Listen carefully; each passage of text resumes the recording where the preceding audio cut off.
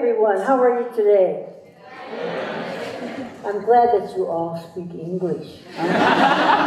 不然的话，有讲台语、讲国语跟那个高山族的话也可以，但是他们叫我今天讲英文，所以我尽量用英文讲啊。I still can remember some English. Good.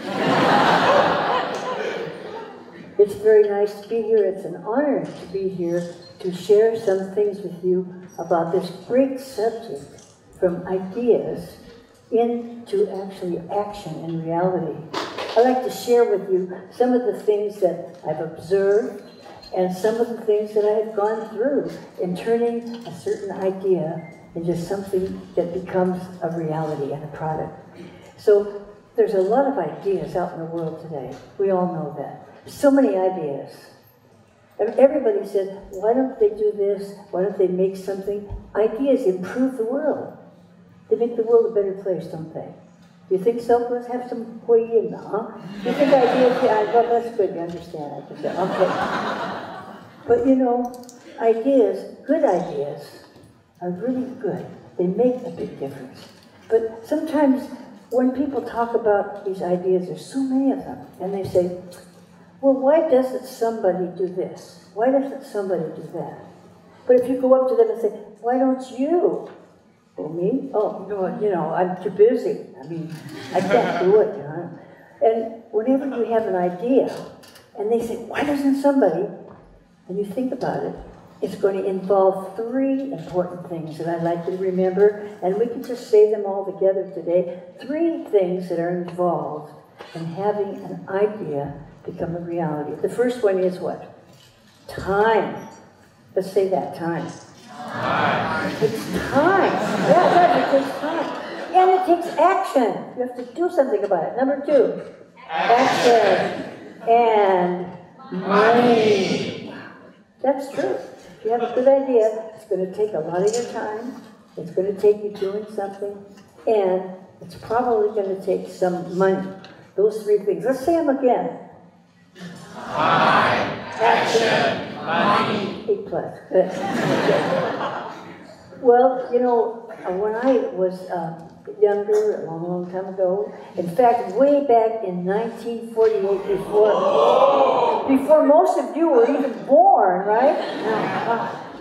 I got on a ship in Seattle, my hometown, and went with some people in the agency to come out to Asia to try to make a difference. Now, when I was growing up, all over the United States, they would challenge young people go and help people in Africa and China and these developing countries. They need some help. Who will go and help them?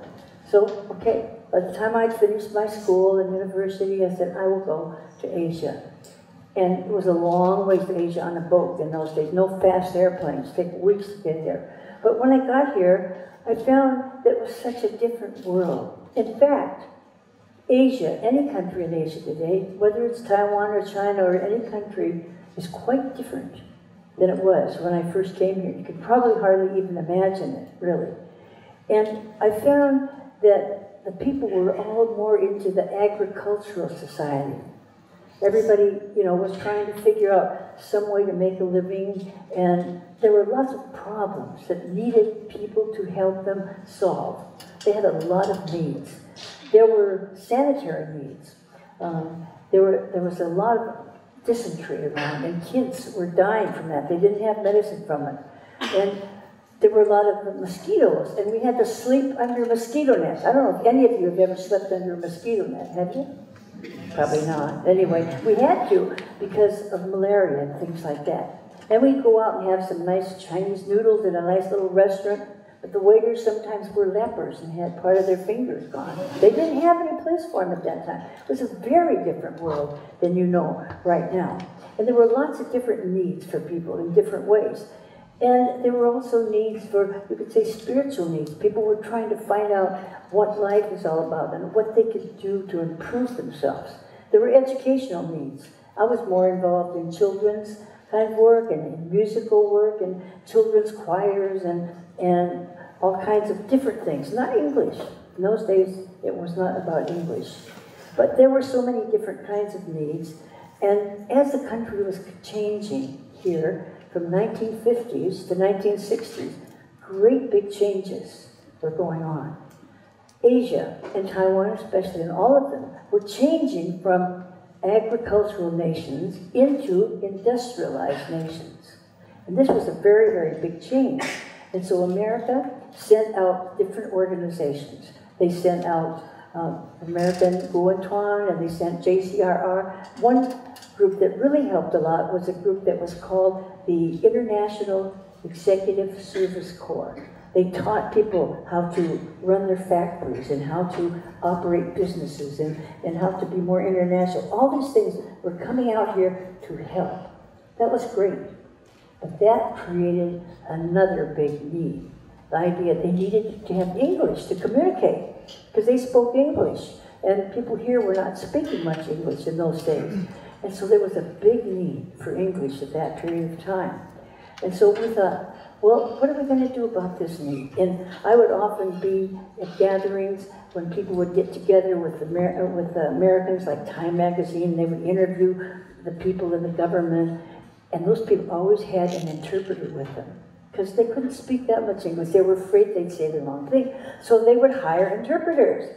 But the trouble was, the interpreters didn't have very good English either. and that was kind of a big problem. And I remember one time, it was really very embarrassing. I was at a, a big meeting with officials and these magazines were interviewing. They said, is Taiwan really an independent free country?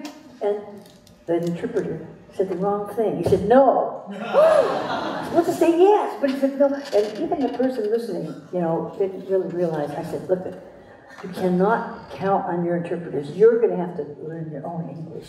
You cannot have interpreters. You have to learn to speak for yourself. And so there was this great need. And then people said, well, who can help us do this? And I was approached many times. Would I help in teaching English? I thought, teaching English. If my English teachers in America knew I was going to teach English out here, they would say, oh no, because that wasn't my favorite subject, really. You know, I like things like band and, and uh, music and, oh, uh, you know, tennis, uh, everything, not English, okay.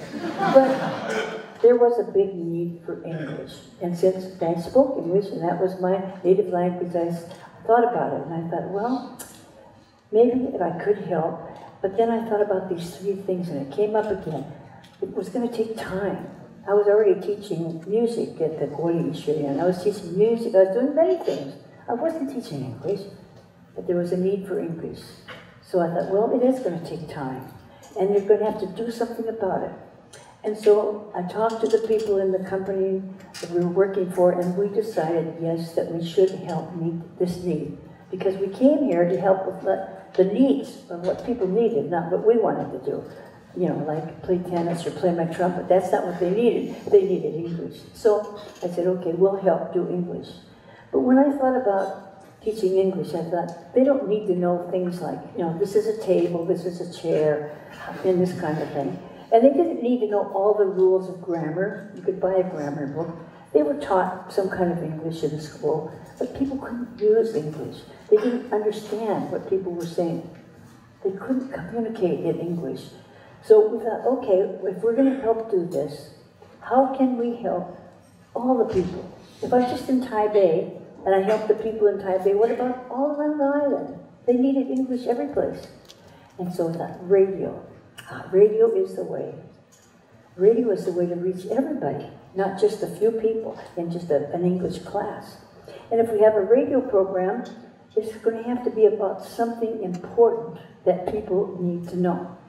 So we thought about current topics, things that we needed to know in order to develop, to improve the conditions that we needed to improve in those days. So we thought, well, we'll print out little lesson sheets and everybody can come to our place at like a studio and we'll record the message and we'll talk about the subject. Everybody will come. We'll call it Studio Classroom. And people can come at 6 o'clock in the morning very on bicycles, by the way, right? Six o'clock, and people would come from businesses, housewives, students would come. There's students today who said when they were in high school many, many years ago, they used to go there it, very early in the morning and record the program. And they would ask the questions. We had the lesson sheet, and they would ask the things they didn't know. Instead of us just teaching, teaching, they would want to know what they needed to find out. So we called it Studio Classroom. We recorded the program. Then the money part came in. We wanted to get it on more stations and more people. So we got on BCC, the Broadcasting Corporation Zhongguang. Island wide, every morning at 6 o'clock, people could hear Studio Classroom. All over the island. All kinds of people listened in. And people then, the studio had to get a little bit bigger and more people came. And they came to find out how to use English in their life. So not just to learn English, but how to use English. In fact, we often had very famous guests, like Dr. Lin Yutang. Lin Yutang had come back to Taiwan because he wanted to come back to his country and repay. He'd been in America quite a few years, and he came back to help the schools and write English textbooks. So Lin Yutang said, would I please read his books for the English for the schools? I said, okay, I'll read your books if you come to my program. So Lin Yutang came and was on Studio Classroom, and students could relate to him. He was a very interesting person, and they liked talking to him. And then other guests came from the American Executive Corps, people that were head of big corporations, and they would come and share what they knew about office management, about any, any different subject. These people would come to the studio. And then we decided we had to spend more money. We had to be on more stations, and we had to be on at noon and at night because some people couldn't hear it in the morning. So pretty soon we were on several different networks. And the lesson sheets uh, got to be from, you know, from basic to junior to senior, three different levels, three magazines, three programs. Wow, it became really a big thing, Studio Classroom, all over the island, really, in those days. And so then we thought, well, that's good. We're, we're reaching a lot of people, but there's still a lot of things involved in this, not just teaching people. And when you when you get into something that that you find that there are things that come along that you didn't even think about. People want to hear more things. They want to hear it on TV and they want to hear different ways. So we thought, why don't we do a little bit more? But there's always a risk involved. A risk. What kind of a risk? Well, one of the risks is there always are kind of risks involved, and you can easily get sidetracked because we were printing three magazines, color magazines. And they were just beginning to get colored printing presses in Taipei. Why didn't we start a printing company? Why don't we do this? Why don't we? And pretty soon, you can get sidetracked, so you forget what you're trying to do. So you have to be careful when you have a project that you don't get sidetracked and doing so many things that you forget what your main point is. So we said, okay, we won't do that. We'll do something else.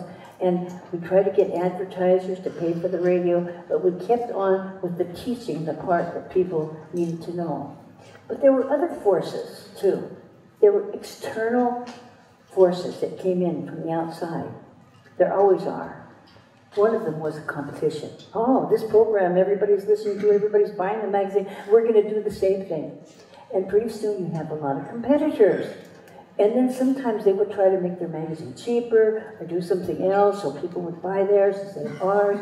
And you know, you could say, let's cut corners. Let's put the quality down, not, not use such expensive paper, not use such good uh, CDs and things for them. But no, we said, let's keep on the quality. And you can use competitors as something to challenge you to do better instead of letting it get you down. It's an outside force, competition, but it can help you, can challenge you to do something even better than your competitors are doing. One other outside force is something that's with all of us, no matter what we do. It's constant changes. Do you find out things are changing all the time? Every day, every minute, things are changing. And these changes are things like you can see technology. Do you think technology is changing? Not every month, almost every day. Technology is changing. Lifestyles are changing. People don't want to read a big long lesson. They want a short lesson. They want to hear it uh, on a DVD or a CD-ROM. The way they listen is different. And their economy is different. So we always have to deal with these three things. Technology, lifestyle, and economics. You have to keep up with all the emerging technologies, or your work will probably just disappear. And then people said, well, why, why weren't we on TV? Okay, TV, you know, who knows how to make TV? TV just started in 1962 in Taiwan. So, okay, we'll put the program on TV because people want to learn on TV. And DVDs, and then magazines, and then all the things that you have today that we have to keep up with. We have to develop, use these different means to reach people. But in the midst of all of this, when you're doing something a long period of time, Studio Classroom just had their 50th year anniversary, you have to keep one thing with it, and that's passion. If you don't keep passion in your work, if it just becomes a daily drudge, then it will lose its charm and it will people will not listen anymore. You have to care about the people. You don't just make a magazine and hope they're going to buy it. Or you listen to this program, send an ad. No, you have to care about meeting the needs. And the needs of the people change. So you have to change. Your contents change. The way you teach, everything has to change. And if you don't have any passion, you'll soon say, oh, forget it, that's too much. I always thought, you know, we'd probably teach English for a few years, and after that, nobody would need English anymore. Ah, oh, 50 years, you still need English, right? And the language needs to be more and more. I just came back from Europe, and people all over Europe, Chinese people that have moved to Spain and Paris, and they said, would you come and help us with English? I said, well, we live in Italy. Why do you need English? We all need English. So the need for English didn't change. So we have to keep up reaching out to people. And actually, um, everybody communicates. You can communicate any way you want to, but if you don't connect with people, then your product will not last very long. And there's a book that's out. It's a very good book. I don't know if you've read it. It's by John Maxwell. It says everyone communicates, but few connect. There's always people communicating, telling you that but you don't listen doesn't mean anything to you. When you communicate, you have to connect. And when you're teaching, you have to connect. When you're in business, when you're selling a product, you might have a very great product, but nobody knows about it. They don't know how to use it. So these are things that we all have to think about when we are doing something that is an idea, that has become a reality. We have to communicate. We have to connect with people wherever they are. And another thing is that we have to find out ways of doing this. And we found that in Studio Classroom, to connect with people all over the world, that we had to use media more. And not only radio and TV, but all these other forms that, that we have today. And we found that people in China were listening in. And I met people in America and other countries, and they were from China. In fact, I just met a man recently, let's see, it was some other country, I guess it was over in Spain, we were just there recently, and he brought me all the, he said, I studied Studio Classroom for 10 years in Shanghai. You did? Okay, I wasn't in Shanghai, but he studied studio classroom there. So all over the world, we are spreading all over the world. So you have to get your idea around, and you have to use modern media to really make it useful to people. And it's very interesting to get letters from people and emails now from people in Dubai and people that are uh, from another nationality, and they will say, they will call me Mother Doris, and they, Mother Doris, tell us I just uh, on the TV in, in Dubai. And we've had our magazine in Mozambique, in Portuguese, and all over the world. Because we try to connect with people, we try to meet the needs of the people, and keep up with what is going on. And so Studio Classroom now has gone all over the world to so many different countries. And we don't want to just teach people how to speak English. There's no real value in that. But how to use English. How to make English something that will improve their life. So the idea of teaching English was not just to teach it like a subject, but was like to use it to improve people's lives, to do the things they need, in fact, there was one, one farmer, uh, I think we had a picture of him just a minute ago. He, he was out in the field listening to Studio Classroom. Another man that was doing pineapple research up in Taichung area, and he was just a farmer. But the Executive Corps said, we need to send somebody to Hawaii to learn how to can pineapple. We need to learn how to do that. And all the people said, well, we can't speak English. How can we go to Hawaii? So they chose this man who didn't have a very high education, but he had good English. He listened in every day to Studio Classroom, every day and every night. And they chose him, and he went to Hawaii and learned how to do that and came back for Typhoon Pineapple and became one of their executives. Wow, isn't that amazing? So if you use things that are really going to help people in their lives, then it will make a difference. Then the product that you have is worthwhile. Your ideas have become a reality in people's lives. And so using English is not know, something like just learning it. I learned a lot of English. You can learn it, but you have to be able to listen.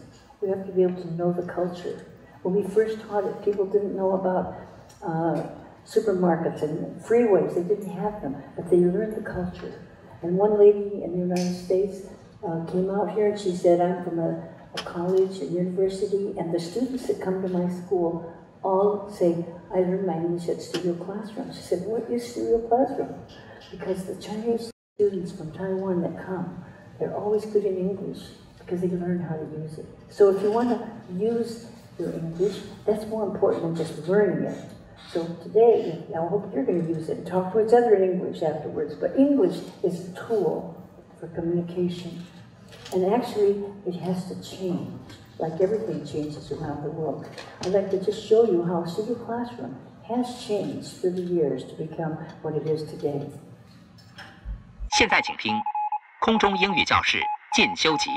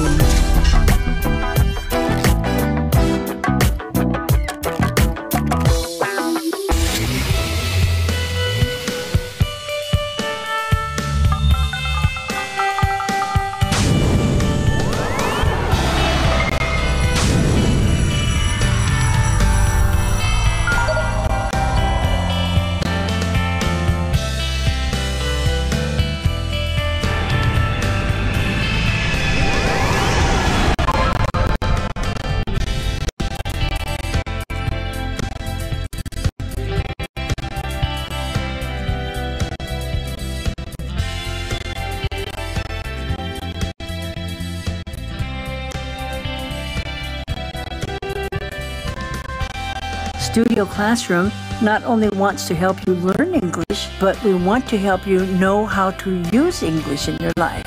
And we want to be your friend for life.